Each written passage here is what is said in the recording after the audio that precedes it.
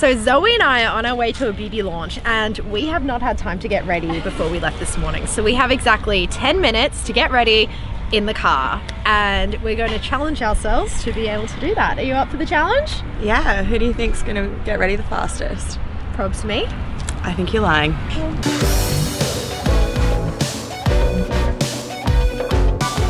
Three, two, one. Go. Oh. I'm gonna tie my hair back first because Ha, already done that. Straight to- okay. straight to my excuse base. me. Skipping primer because Oh, of the time. Oh, I'm gonna prime. I'm using my La Mer compact. I'm gonna prime, unlike Sophie, with my Laura Mercier foundation primer. Okay, so next I'm going to go in with my The Ordinary foundation Oh my god, that was such a quick and just use my hands, babe. I'm gonna be applying some to my brush and then applying that brush to my face. What kind of look are you going for today, Soph? So I'm going for a glowy, creamy look. I think. What are you going for? Um, just whatever I can get on my face in time. fair. Really? I'm done with foundation. I'm going in with my Inoxa Prime Cover and Correct palette to color correct and conceal. And I'm not going to conceal because my bags are designer. I'm gonna next use a powder by MAC to set my foundation. And a good little trick is, if you've messed up with coverage, just wiping a powder all over your face will help, maybe. I don't think I've ever had to do my eyebrows in a moving car before, so if I give myself monobrow, no one laugh please. I am also onto brows. Oh. I'm using my MAC brow pencil and this is going to be a challenge because I really want my brows to be perfect. Brows and base. Oh, it's a corner. Oh. Okay, we've just got to remember with brows, they're sisters, not twins. I don't know what mine are.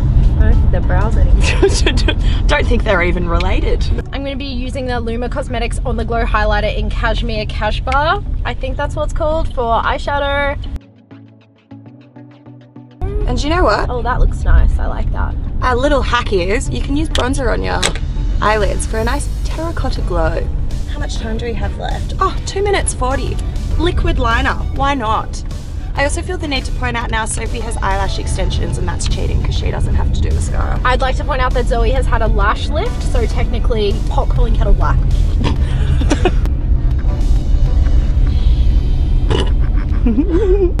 Oh, we have a minute 13 left, so let me just put on some mascara. Oh. I think I did a pretty good wing considering we are going around a corner.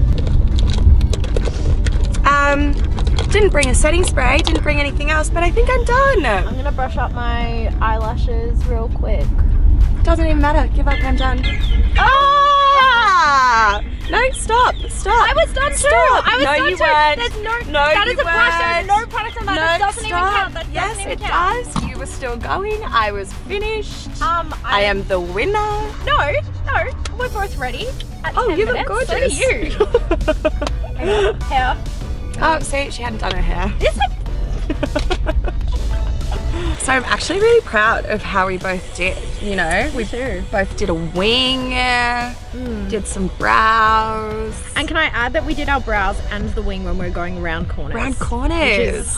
like advanced. Mm. Yeah, never again for me personally. No, but neither. Good, to, good to know in an emergency mm. we can do it. Yeah. Thanks so much for watching, guys. Let us know in the comments below who you think won the challenge, and we'll see you next time.